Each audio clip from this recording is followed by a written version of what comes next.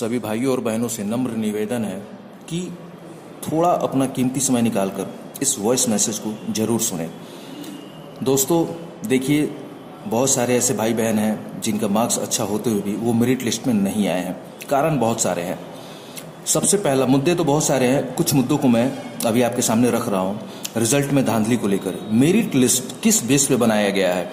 कि 90 वाले भी मेरिट लिस्ट के बाहर हैं 110 वाले भी बाहर हैं 115 वाले भी बाहर हैं। दूसरा, क्या ये सॉफ्टवेयर की गड़बड़ी है या फिर सरकार ने पैसे खाकर नॉन क्वालिफाइड को क्वालिफाई कराकर मेरिट लिस्ट में डाल दिया है?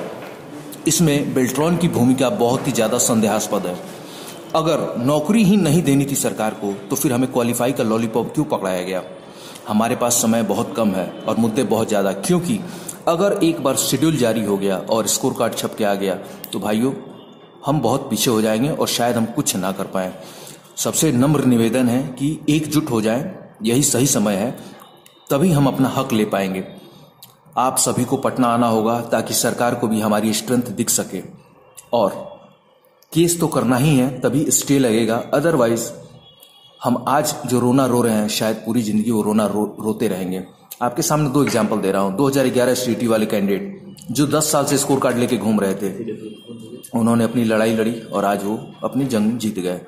चौरानवे हज़ार शिक्षक सी सीटेट क्वालिफाइड और टीटी क्वालिफाइड गर्दनी बाग और भी बहुत सारा धरना प्रदर्शन सरकार का समर्थन मिला, उनको और भी पार्टियों का समर्थन मिला। फाइनली उनका नियोजन होने जा रहा है, लेकिन हमारा क्या? जब सीट सैंतीस हज़ार थी और आज भी सारे रिज़ल्ट मिला के साढ़े तीस हज़ार रिज़ल्ट हुए हैं। हम क्वालिफाइड थे, हमको बाहर किया गया तो फिर भाई अंदर किसको किया गया है? गौर से सोचिएगा। और इस मैसेज को हर एक ग्रुप में शेयर कीजिए।